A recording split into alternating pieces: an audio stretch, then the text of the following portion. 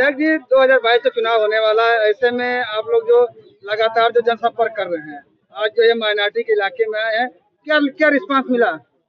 बहुत शानदार रिस्पांस है। यहाँ के लोग समाजवादी पार्टी को जिताना चाहते हैं और अखिलेश यादव को उत्तर प्रदेश का मुख्यमंत्री बनाना चाहते हैं। जिस हिसाब से कोविड का जो महामारी चल रहा है उसको लेकर चुनाव आयोग ने बहुत सारे निर्देश दिए हैं और आने वाले समय में जब रैलियाँ नहीं होगी क्या लगता है रैलियाँ जब नहीं होगी बड़े नेताओं का आगमन नहीं होगा तो क्या चुनाव प्रचार पर लोगों को कुछ असर पड़ेगा? कोई असर नहीं पड़ेगा।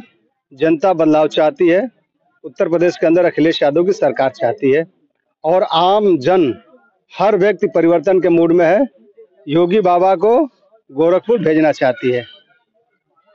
होता क्या है कि जब बड़े नेता आते हैं अपने भाषण देते तो लोग उनके भाषणों से प्रभावित होते हैं। इस बार क्या क्या रहेगा? सारे भाषण जनता जान रही है, देख रही सुन रही है। Electronic media, print media, social media के माध्यम से हमारे नेताओं का जो जगह जगह पहले मीटिंग हो चुका है और हर जगह, हर समाज के लोग जो है, सबके दरवाजे पर जा करके भारतीय जनता पार्टी को खदेड़ना चाहते हैं। तब कहीं ना कहीं जागरूकता इतनी बड़ी है कि हर व्यक्ति चाहता है कि भारतीय जनता पार्टी को हम खदेड़ें। ऐसे में विधायक जगह हम बात कर रहे हैं, जो लगातार जो समाजवादी पार्टी में भाजपा के मंत्री और विधायकों का आने का दौर जो चालू है। क्या लगता है, भाजपा समाजवादी पार्टी को इससे कितना लाभ पहुंचेगा? भारतीय जनता पार्टी की डूबती हुई नैया है। उस डूबती हुई नैया पर कोई नहीं बैठता।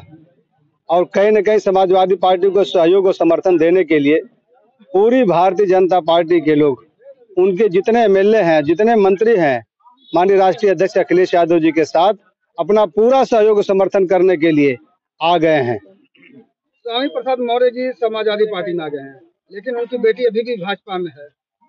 वो तो आप जानते हैं।